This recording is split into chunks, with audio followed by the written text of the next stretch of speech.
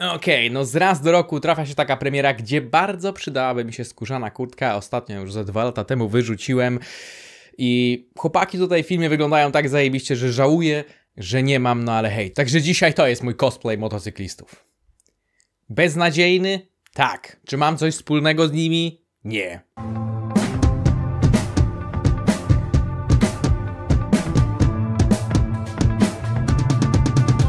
The Bike Riders, czyli motocykliści. To film napisany i wyreżyserowany przez Jeffa Nicholsa, który opowiada nam historię dziejącą się w latach 60., gdzie poznajemy tytułowych motocyklistów, czyli gang, ekipę wandali, których szefem jest Johnny, grany przez Toma Hardiego jest tam również Austin Butler jako Benny i wszystko to nam opowiada Kathy, grana przez Jodie Cormer, Comer, która jest narratorką historii na przestrzeni wielu lat. I jest to film, z tego co rozumiem, zrobiony na podstawie istniejącego albumu i nawet jest postać danego, granego przez Mike'a Feista, który był po prostu fotografem, który trochę zapuścił się do tego dzikiego plemienia jako outsider, robiąc im zdjęcia. To jest prawdziwa historia Oczywiście tutaj jakoś tam przełożona na film fabularny, na faktach, wiecie, wiecie jak to działa. I powiem wam, że no jest to film na pewno ciekawy, jest to film, znaczy sam projekt jest ciekawy, mamy fantastyczną obsadę pierwszo i drugoplanową, jest tu kilku aktorów, czy Boyd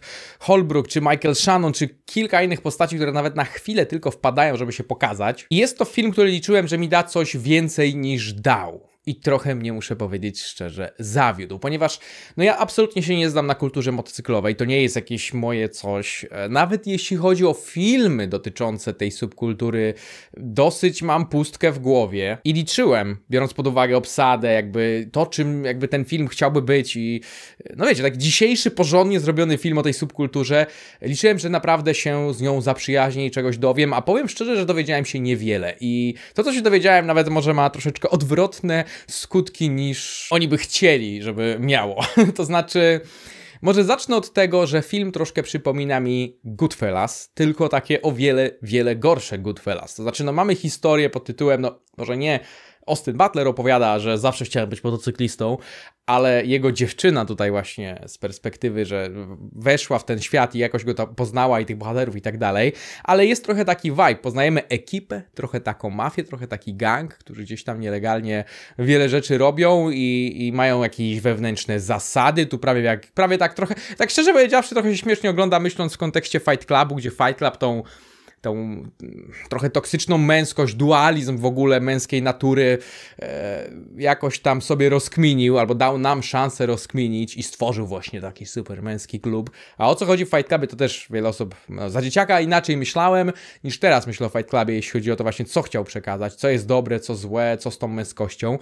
Natomiast e, motocykliści zawiódł mnie w tym sensie, że ci ludzie wewnątrz filmu, fabuła tego filmu, prawie nie istnieje, to znaczy my oglądamy jakiś zlepek wydarzeń co parę lat, czy tam nawet nie wiem w jakim okresie dokładnie, ale po prostu na siedzi i opowiada, no a w tamtym roku stało się to, a potem napadli tego, a potem przyszedł ten, a potem jakie mamy po prostu ileś tam scenek, aż film się kończy, ale absolutnie nie czuję, żebym coś więcej wiedział o tych ludziach, o ich motywacjach. Muszę powiedzieć, że to jest film, który jakbym miał zacząć bardziej od plusów, stoi bardziej atmosferą, klimatem i takim, jak to powiedzieć, czuć te stroje, ten styl, te takie, jak, jak oni gdzieś tam na tym motocyklu, któryś odjeżdża i jest zachód słońca, czuć ten klimat. Ja, ja tutaj jakby w pełni byłem w to wkupiony i muszę powiedzieć, że Jeff Nichols to dobrze sprzedaje. Ale czułem się, jakbym oglądał, powiedzmy, obraz. Wchodzicie do muzeum, macie jakąś matejkę, jakiś obraz i myślicie sobie, wow, ale tutaj, prawda, dużo szczegółów, historyczna jakaś bitwa, stroje, Grunwald ten, no dobra, ale chciałbym, skąd ci ludzie, co robili, jaka była taktyka, chciałbym jakieś szczegóły. I po obejrzeniu filmu mam wrażenie, że tak samo nie wiem, jak przed obejrzeniem tego filmu.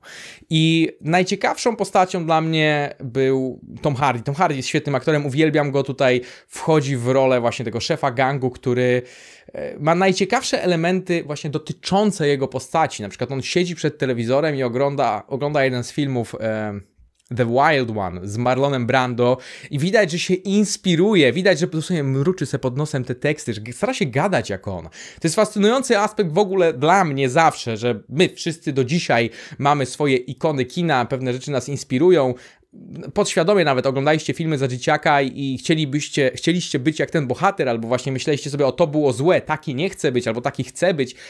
Tak działa kino, no pobudza naszą wyobraźnię, daje nam przemyśleć różne rzeczy w życiu, jak się zachowywać, jak się nie zachowywać. E, oczywiście czasem oglądamy Avengersów, żeby mieć po prostu stricte fan, ale wiadomo, że nie będę ze Spidermana wyciągał jakichś motywów życiowych, aczkolwiek to, że z wielką mocą przychodzi odpowiedzialność, jest rozsądne. I fajnie zobaczyć takiego prawdziwego człowieka, który w latach 60. se siedział, oglądał Marlona Brando i chciał być jak on, a jednocześnie tworzył jakąś subkulturę, coś się wytworzyło tak trochę oddolnie. Jest to na pewno ciekawe i w tym filmie właśnie doszukiwałem się, jak za każdym razem jak była taka scena właśnie jak ta, że on ogląda telewizję, to mówię, okay, to jest ciekawe, chcę tego więcej. Ale tego nie ma więcej właśnie. To jest mój problem i tą twarzą tego problemu jest Austin Butler. Przez cały film ten chłop, ja, ja, nawet nie wiem skąd on ma pieniądze. To znaczy, my widzimy, że Tom Hardy pracuje, on jest jakimś tam kierowcą, ma zwykłą robotę i po godzinach po prostu wiecie, no trochę jak ci chuligani w Hooligans, że siedzi w pubie i ogląda mecz już po pracy, nie? Chociaż oni też nie pamiętam, jak oni tam pracowali, ale jakieś prace mieli. Natomiast taki Austin Butler, on przez cały film jest tą dziewczyną, ja, ja, ja nie wiem w ogóle z czego oni żyją on ma jakąś pracę, ta reszta tych ludzi, czym oni się w ogóle zajmują, bo to nie, bo właśnie wiecie, w Goodfellas, jakby to było integralna część chłopców z Ferrari, no że oni są gangsterami i z tego żyją i poznając ich i co robią po godzinach, de facto poznajemy też ich pracę i hobby, no nie? A tutaj poznajemy ich hobby, poznajemy ich tą ekipę, ale dlaczego? Jak?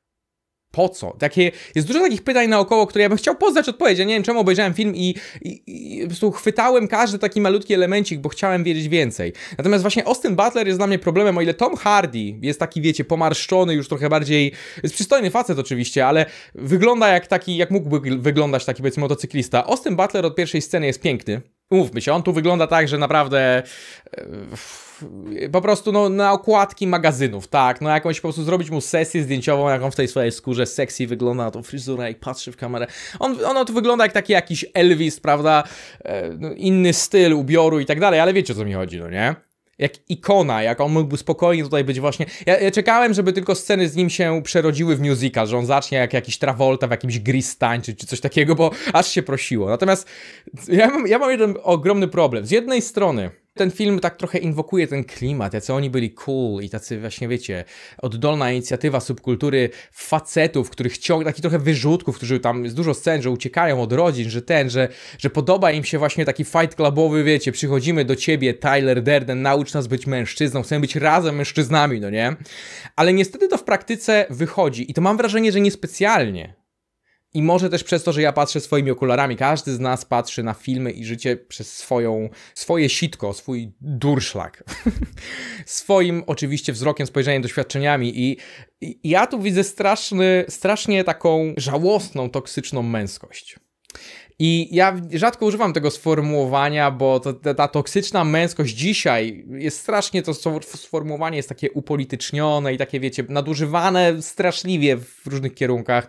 A ja sam jestem zwykłym facetem z wysokim testosteronem, co chodzi na siłkę codziennie prawie, lubi piłkę nożną, sporty walki. Nie jestem, podejrzewam, że wiele osób mnie by oskarżyło o toksyczną męskość na co dzień, ale o co mi chodzi, żeby było jasne? Chodzi mi o to, że ci ludzie tutaj niczym się kurwa nie zajmują, cały czas jakąś przestępczość uprawiają, ale nie taką zorganizowaną, nie z Goodfellas, gdzie ja rozumiem czemu to robią dla pieniędzy i władzy, tylko raczej taką zwykłą chuligańską bandyterkę. I dodatkowo są w tym słabi, co oczywiście się odbija potem czkawką im w trakcie fabuły, ale w taki sposób pozbawiony napięcia. Ten film nie ma tak, to, to nie jest tak, że jak w jakimś Wilku z Wall Street, właśnie wiecie, filmach Scorsese, gdzie tam no, na początku jest fajnie, jesteśmy z tymi bohaterami, jestem królem życia, a na koniec na zasadzie, wiecie, policja, FBI i tu i narkotyki i wszystko bańka musi w końcu pęknąć i musi się skończyć ten dobrobyt.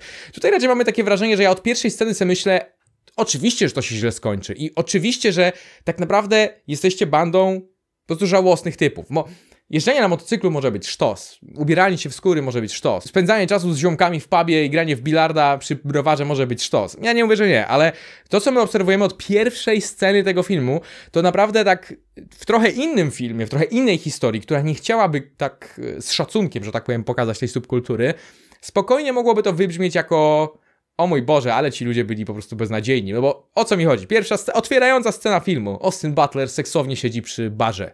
I to jest sekwencja jak po prostu jakaś westernowa prawie, albo jak e, Logan, jak e, Wolverine klasycznie, że siedzi przy barze i ktoś go zaczepia, a on na zasadzie fuck off, no nie? I on siedzi, bo jestem, prawda? Tylko, że Wolverine ma, wiecie, jest nieśmiertelny i tak dalej. I Austin Butler jest zaczepiony przez jakichś dwóch typów i wywiązuje się bójka. Tylko bójka się wywiązuje tak, że on na zasadzie tam... No, on im mówi na zasadzie spierdalajcie i dalej siedzi tyłem. Ja mówię, i co? I dwóch typów cię będzie atakować, nic nie zrobisz, jesteś takim kozakiem, bo to jest kwintesencja tych ludzi, jesteś takim kozakiem, po czym on dostaje krzesłem przez plecy, nic przy tym nie robi, żadnego jakiegoś uniku, coś, po prostu zostaje ten, zostaje skopany, jakoś tam odpowiada im, że tam jednego też tam coś nożem ciachnie i dostaje łopatą w tył głowy, mamy stop klatkę, stąd też skojarzenie z Goodfellas, jak łopata ma go walnąć w łeb i jeszcze ma przy tym złamaną nogę. I ta złamana noga jest w ogóle punktem w środku filmu, że on jest taki załamany, że o mój Boże, jak ja teraz będę jeździł na motocyklu, oni tam pytają, czy co u ciebie, a on, kurwa, jak to co ma, złamaną nogę i będę kaleką, wiecie, taki, to jest taki poważny wątek, że on jest, on jest zraniony. I ja mówię, no właśnie, kurwa, bo to, to jest kwintesencja tego problemu tego filmu, bo siedziałeś jak taki kozak przy barze, i myślałem, że dobra, no może chociaż zrobisz unik i mu oddasz, że jesteś takim, wiecie, jak ten Joe Pesci, że haha, po mnie ciśniesz, tak? Wrócę wieczorem i cię zastrzelę, nie? Z kumplami, czy coś w tym stylu i, i goodbye, prawda? Chłopcy z ferajny i zawsze wiedziałem, że chcę być gangsterem. Nie! Dostał, do, złamali mu nogę tylko dlatego, że kozaczył. I to jest, to jest po prostu, to jest moja wizja tych ludzi. Kozaczyli stworzyli subkulturę patologicznych mężczyzn wyrzutków z krzywymi zębami, którzy są po prostu, wiecie, tu kogoś chcą zgwałcić, tu kogoś zamordować, coś, coś ukraść, ciągle tego się biją bezmyślnie i to jest okraszone tymi ich zasadami jak w Fight Clubie. Oni mają tu zasady, że jak tam jakby któryś przychodzi do Toma Hardiego i mówi, że rzuca mu wyzwanie, to on mówi na pięści czy na noże, jak w jakimś kurwa XIX-wiecznych gangach Nowego Jorku. Wiecie, ja, tak mówię, taki Fight Clubowe, druga zasada Fight Clubu, możesz wyzwać szefa i wybrać formę pojedynku, prawie klub dżentelmenów, no nie? Tylko to wszystko oczywiście się odbija czkawką już od pierwszej sceny, więc ja ten film oglądałem z takim, czy, czy, czy to ma mi pokazać, że co oni byli głupi i żałośni i bezmyślni w tym ale jestem męskim Austinem Butlerem. Już pomijając, że Austin Butler po prostu mi nie pasował e, za ładny, no nie? W sensie ta reszta jest taka paskudna, on jest taki ładniutki, ale strasznie mi to dało do myślenia, że ja, ja nie wiem, czy ten film to zrobił umyślnie, czy nie, bo z jednej strony ja mam wrażenie, że Jeff Nichols świetnie inwokuje właśnie to, że oni byli cool, te stroje, ten klimat, wiecie, siedzimy przy jakimś ognisku, motocykle i ten, no to wyglądało fajnie, atmosfera tego miejsca, tych, tych lat 60 jakoś tam się przebijała w taki pozytywny sposób, ale wszystko, co oni robią, to w jaki sposób stworzyli to i to potem właśnie odbija się im czkawką, to byłem, siedziałem z takim... Od początku widać, że to idiotyczne. Ja jestem oczywiście ciekaw, jak ktoś to odbiera, ktoś na tym zna bardziej niż ja właśnie na tych motocyklach, na tych jakichś tam. To jest Midwest, co się dzieje gdzieś tam, wiecie, w tych środkowych e, Stanach, e, gdzie w ogóle Jodie Comer, Comer, cały czas mylę jej nazwisko, nie wiem czemu, e, mm, gada z takim bardzo mocnym Midwestern akcentem, takim jeszcze krok dalej i byśmy byli z tą, z Fargo, no, Frances McDormand, gdzie, tam to oczywiście było dla żartu, bo to była komedia Barci Cohen, to przerysowanie, a ona tutaj tak ciśnie na maksa, ale no to też jest swoją drogą ciekawe i bardzo możliwe, autentyczne, no ja nie wiem jak ta kobieta w rzeczywistości brzmiała, natomiast tak, no, zabrakło mi w tym filmie jakiegoś napięcia, jakiejś konkretniejszej fabuły, jakichś szczegółów dotyczących tych ludzi, ich motywacji, ponad to, że hej, buntujemy się, nie? No w zasadzie idziemy z kumplami po prostu być nawet nie gangsterami, tylko takimi ono, że będziemy sobie jeździć. Nie wiem, strasznie mieszane uczucia, ale miks tego wszystkiego sprawił, że ten film był dla mnie średni i bardzo dużo się nudziłem, bardzo dużo po prostu jak coś ciekawszego się działo, to się ożywiałem, byłem taki, o, to tego chcę więcej, e, nie za bardzo. I jak film się kończy, to też, no nie będę się spoilerował, ale miałem takie, a, no, Okej, okay, no tak się skończył.